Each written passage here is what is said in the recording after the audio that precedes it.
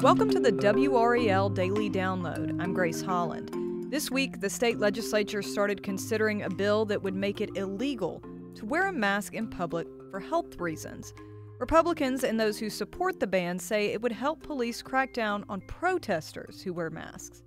Democratic lawmakers and others against it worry about possible health consequences of such a ban. WRAL Capitol Bureau Chief Laura Leslie has been digging into the legal implications of this bill and joins us from the legislative building. Laura, thanks for joining me. Thanks for inviting me. So, what is the background that led us to this point that this bill is even being introduced? Well, back in the 1950s, um, North Carolina passed a law at the time to outlaw masks, and the target at the time was for example, the, the Ku Klux Klan, right, driving around with masks on to scare people. So they wanted to stop that.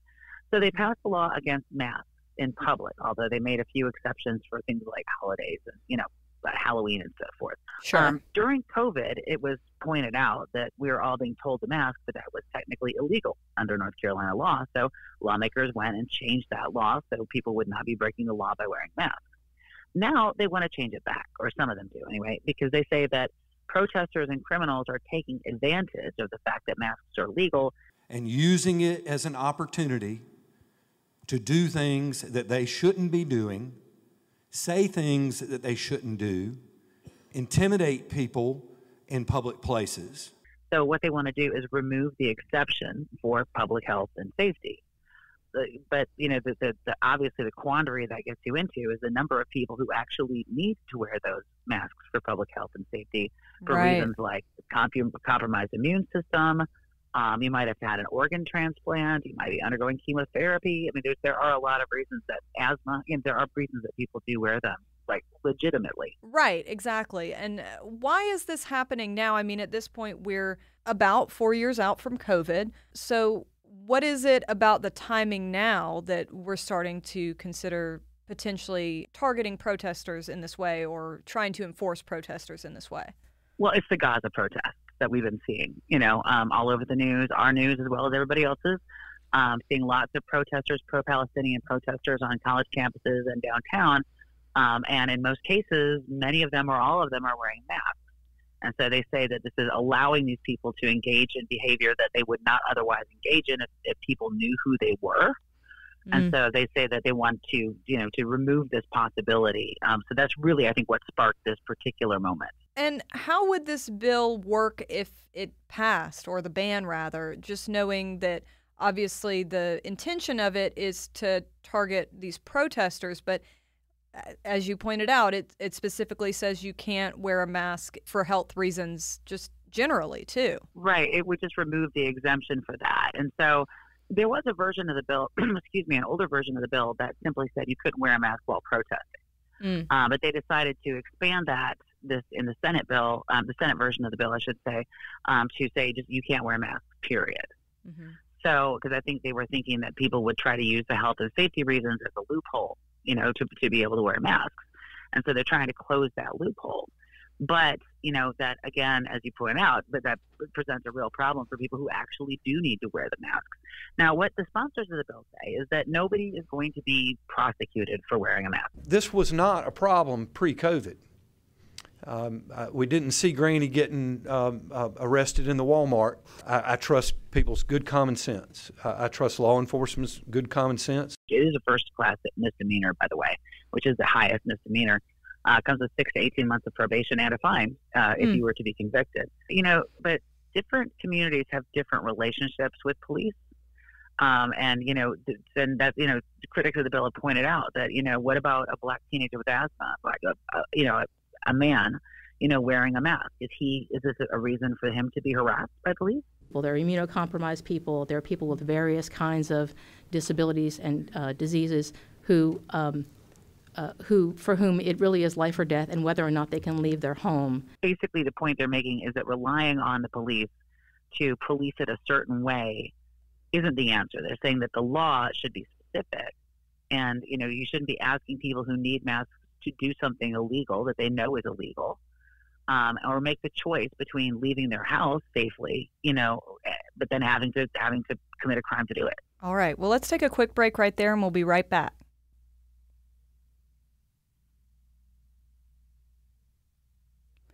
Laura, before the break, you were going through sort of the arguments for and against this mask ban. Um, and I know you've been talking to some legal experts about this. So, first of all, uh, who did you talk to? I spoke to a couple of people, but uh, probably the most helpful was Tara Muller. She is the policy analyst, policy expert over at um, Disability Rights NC, a group that represents people with disabilities. We have received a lot of calls um, from very concerned family members and people with disabilities. Yes, from um, everything from people who are immunocompromised to people who have had, you know, organ transplants, people with medically fragile children who, you know, who are concerned about breaking the law when they make uh, you know the choice to exercise reasonable caution to protect their own health and safety. So yes it is frustrating. We don't believe that the bill sponsor's intent is to target people with disabilities who are just you know taking steps to protect their health. Um, but what we do know is in the all these years that that law was in place you know people the law of the world was different back then. People didn't know about the law. People didn't know that they were intentionally breaking the law. And what we're asking people to do now is intentionally break the law now that they know about it. Um, and it puts people in a deeply troubling condition. People with disabilities who have enough on their plate right now right? They're worried about accessing healthcare and accessing affordable accessible housing and everything else they don't need an additional concern when they're just trying to take steps to protect their health her take on it is that this violates the American with Disab- Americans with Disabilities Act. To the extent that people with disabilities have the right to assemble, then yes, it does violate their rights. Um, there is a right that requires people to be to to um, have access to their community in an integrated environment so that they're not segregated. It's called the Olmstead Act. You know, she said that when you know if you're basically telling people who need masks that they can't wear masks in public, you are stopping them from being able to go about their everyday life because of their disability, which is counter to the ADA. Do we know, you know, if this bill uh, completely gets through, passes, uh, and I know it's only gone through the Senate at this point, but if we got to that point where it was passed, do we know whether there would be legal challenges or are those likely? It seems likely that that would be the case you know, but um, in the meantime, you know, as, as Muller pointed out, you have a scenario where people are probably going to get arrested and go through the consequences of that, the arrest record. Our police officers are not in the business of determining on the spot whether something is in violation of one federal law versus a state law, right? So, what we will see in practice, whether or not there is some underlying law that protects people with disabilities to go about their world, um, what we'll see in practice is people being arrested and then having to deal with the consequences at the end of the day. Will this disproportionately affect certain populations and not others? We won't know until it comes right down to it. But we shouldn't be in the business of making laws that we don't intend to enforce. Nobody wants to scare people who need masks out of being able to go and participate in their lives, right? And that's what they're concerned about, you know. Um, and it's interesting that, you know, the, the bill sponsor said that they would consider making some changes to it in the House to try to accommodate people with, a, with an actual medical need for a mask.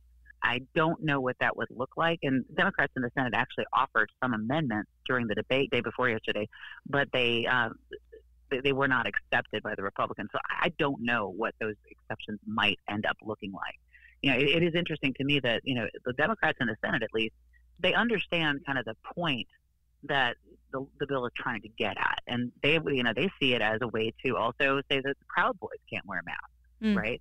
Or people you know people on the right wing can't wear masks either. They're saying we understand why you don't want people to be protesting wearing masks, but there has to be a way to walk this line you know, to thread this needle so that people who need them still have the ability to wear them. Right. And that is kind of interesting that we're at a place where most legislators can agree on the protesting element of this. It's that public safety part that seems like a little bit specific here. And also, I should note that not everybody agrees with that. Sure. you know, the ACLU and some other groups say that this is going to chill free speech. They say that when people go out to protest and they're not wearing masks, that they often get doxxed. They have their mm. personal information put on the internet, you know, license plates, you know, place of employment, et cetera, et cetera.